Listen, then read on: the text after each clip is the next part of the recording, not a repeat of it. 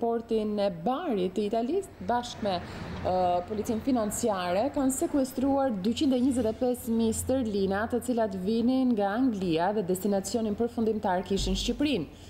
Parat u gjetën në një furgon të cilin ju e shihni në pamje, furgoni me targa angleze, parat u gjetën në dhjetëra pako të cilat ishin të mbështjella me qese plastike mbrojtëse, ndërsa sipër kishin mbishkrimin shoku.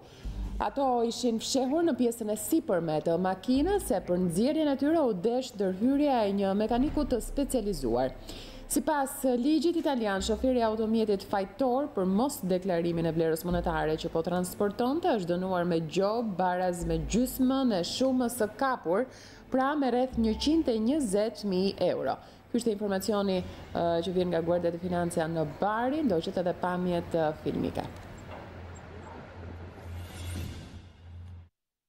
Do të shkëputemi tani për një hapësirë publicitare.